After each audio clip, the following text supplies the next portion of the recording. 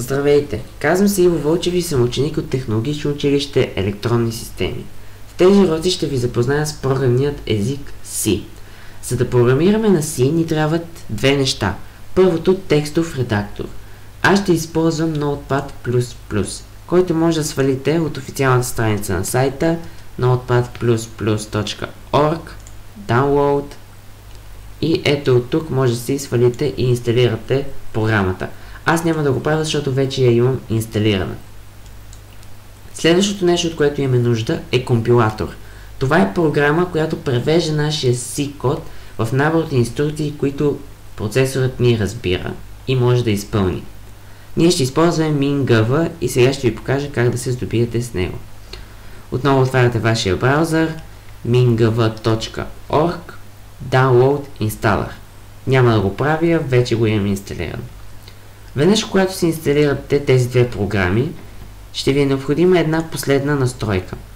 Отиваме на компютър, десен бутон Properties, Advanced System Settings,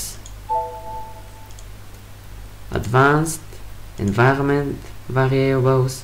На пътят трябва да направим Edit и да добавим ето тези символи. C, две точки, наклонечета мингава, наклонечета бин, точка и запетайка. Обърнете внимание на големите букви тук и тук. Те са много важни, без тях няма да се получи. Отиваме вече към изготвянето на нашата първа си програма. Отваряме текстовия редактор и започваме. Нека първо напиша няколко реда, които ще обясня.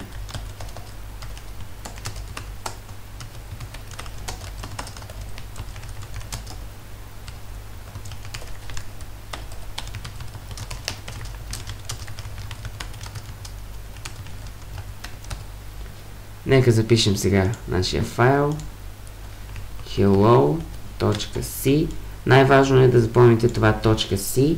Всяка програма на C има такова файлово разширение. И Notepad веднага разпозна кода. Нека обясня първо този ред. Include stdio. Всъщност това означава Include Standard Input and Output което ни дава достъп до функцията printf.